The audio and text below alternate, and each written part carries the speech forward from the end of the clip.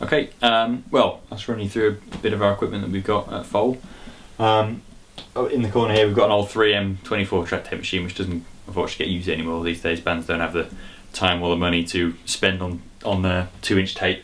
But here we have the two Radar 24s which um, we still use not to track to anymore but I use them purely for the HD conversion um, which all goes to the Pro Tools. Here we've got some you know, nice uh, sort of studio gear, some you know Lexicon and the UREI, which I bought on eBay the other day, which is very nice. Over here we've got our Pro Tools rig. Uh, it's a HD3 Accel system on a G4, um, and then obviously everything goes into both ways. Our amazing Trident ATB uh, console, which has been in the studio for probably about 10 years now, and uh, just great. Great pre's, great EQ, not a lot of uh, faffing around, but it just does everything you'd want it to do. Monitoring wise, got the Genelec, and um, we've actually got 5.1 set up here, but we don't have it set up most of the time.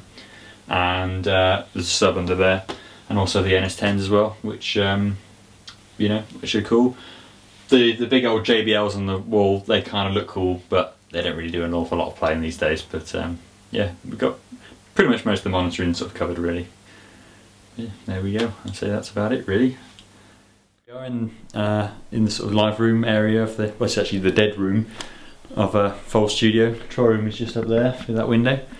Um, here we've got you know a reasonable sized sort of uh, area for, but you know if a band wants to to be able to play all together live. Um, just got an upright piano here and a lovely old C3 Hammond there uh, with a Leslie and everything a few other amps and bits and pieces dotted around. Um, this room is quite a sort of dead sounding room. It's um, even though it's bigger than the other room, but uh, it's you know good. Good isolation between your amps. You know if you have a load of amps blaring away, and you can close mic them, and you don't get any spill particularly. Um, in we go through here. Uh, so this is where normally we do most of drums and other other sort of instruments that require like more of an live ambience. Um, Stonehenge on the back, which uh, is another bit of adds the kind of hippie vibe of the place, the original hippie vibe. But uh, it's quite a lively sounding room. Um, drums just sound fantastic in here, really. Um, sometimes I like to, well, I generally always put this microphone up in in the air to get a bit of of this room as well to you know mix that in with the um, with with the the sort of the close mics and overheads and that sort of stuff. Um, but if I want even more ambience, then sometimes I'll put a sort of stereo pair or mid-side uh, sort of, you know uh, mics out here, kind of directly in front of the drummer um, to get a bit more room. And a, it doesn't, as I said, this because this room is a bit dead, it doesn't really have that much character in its own in this room, but it seems to add an extra sort of distance to the room sound that's already from over there.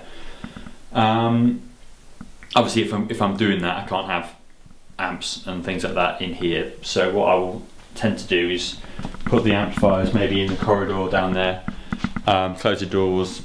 So for you know for guide tracks because the sound is not too great down there, but it's good for the band still can play together live. So I can have a whole band in here playing room mics out here to get a great drum sound. Um, but it doesn't interfere on the, the actual the spill is you know minimal if if it, if there's any.